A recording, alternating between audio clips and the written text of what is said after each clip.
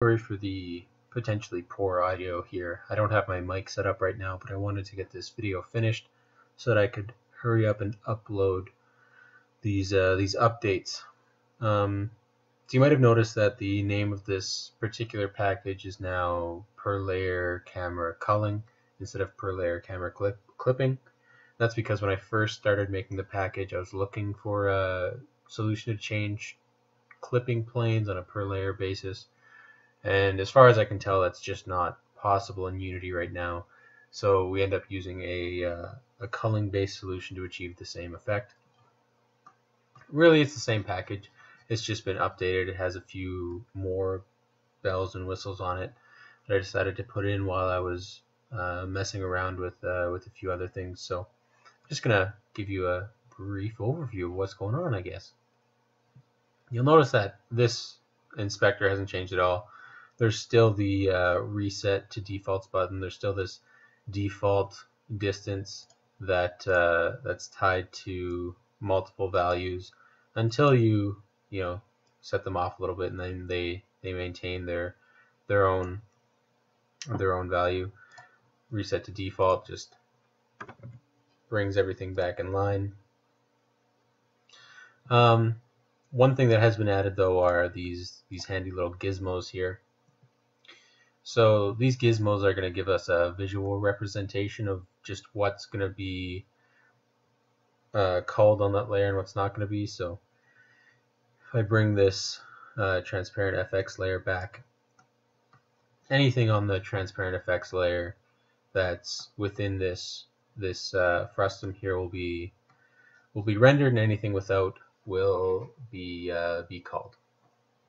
Pretty straightforward, just a nice little tool to give you a visual representation in the editor so you can get an idea of what kind of distances you're working with.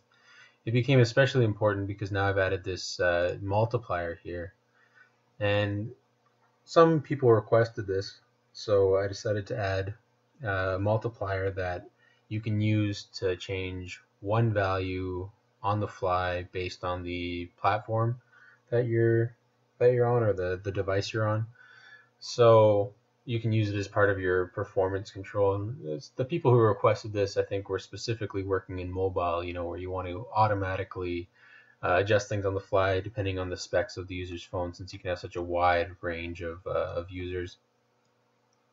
And this too, uh, it's a little hard to do with the slider here, but it updates the visual representation to accurately reflect what's going to be culled and what's not going to be culled. So at one, everything's at a scale of 1 for all these values.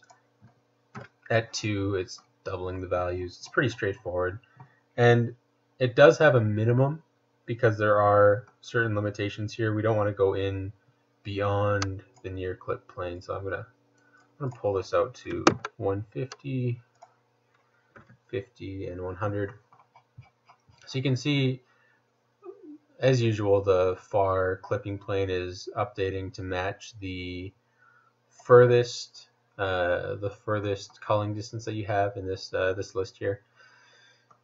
And we can see that represented here. But it's 300 instead of 150. Obviously, this is because of the multiplier. And there are minimums that are tied to the uh, near clipping plane that you have set. So if I try to drag this multiplier down, you'll notice it goes to a very small number. And if you get in on this camera here, it takes the uh, the culling uh, the culling distance with the the smallest value and uses that as its basis for making sure that this uh, this culling distance is never you know negative or or the same as the near clipping plane. It gets right up to it, but won't quite uh, won't quite quite wrap around. And that's the biggest difference I've I've uh, I've implemented here. So besides adding this this distance multiplier, now all these values are self-validating, and it also works during runtime. So originally you had to set all your properties in the inspector and then just use whatever you had set in the game, which works really well on uh, on desktop for the most part. Um, but of course, you can't uh, you can't change things on the fly at all uh, after you've deployed, which is a, a bigger issue uh, for larger games or mobile games that maybe want to have different draw distances that are relying on this solution. So that's where this multiplier comes in. And while I was at it, I just made it so that at runtime, grab these, start bringing this in. Uh, at run, there we go, stuff is starting to disappear. So at runtime, you can modify these values through scripting and change them if need be if you're in a, an area and your frame rate starts to drop. Maybe you know you have a layer just for close details that don't matter. You don't have to see far away, you know, little pop cans or bottles or grass or something like that. And if your frame rate starts to dip, you know, that can be the first thing that you try to pull back and you can dynamically bring this down until you get to a reasonable frame rate or get to a certain, you know, minimum value of 50. And then you can start bringing other things down. Um, or you can just do it all at once with the uh, with the multiplier and bring that uh, that down slowly, you know, 0.5 or whatever. So there are a few options here now for dynamically uh, updating on the fly. The big thing here now is that all these values are going to be overwritten uh, within my script. They're all they're not they're not protected. Obviously, you can access them in the inspector or access them directly. They're all public variables, but they're uh, they're being validated on the fly as well. So if you try to set your multiplier to negative 5, it just won't let you. It'll just overwrite it with this uh, new minimum calculated value. Same thing with the, the default cull distance. You can't go below your you know near clipping plane plus 0.01, which is what the far uh, clipping plane uh, does on its own uh, normally.